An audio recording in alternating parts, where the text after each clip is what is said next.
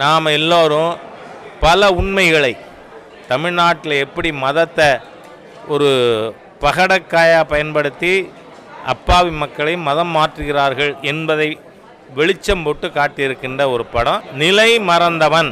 அதில் எந்த மதத்தையோ தெய்வத்தையோ எந்த வித விமர்சனமும் இல்லாத ஒரு படம். அதனால தான் கேரளாவில் மிகப்பெரிய மக்கள் ஆதரவை பெற்றது. எனவே தமிழக மக்கள் அனைவரும் தியேட்டருக்கு போய் அந்த படத்தை பார்க்க வேண்டும் என கேட்டுக்கொள்கிறேன்.